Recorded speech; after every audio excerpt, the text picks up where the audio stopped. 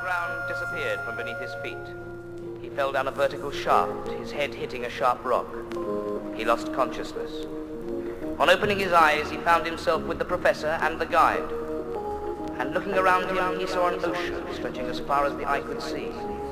A giant forest of mushrooms, a line of huge cliffs, and strange clouds hung overhead as he lay on a deeply indented shore of golden sand strewn with shells. For a moment he thought he was back on the surface of the Earth, but he soon realized that they had reached a world within a world.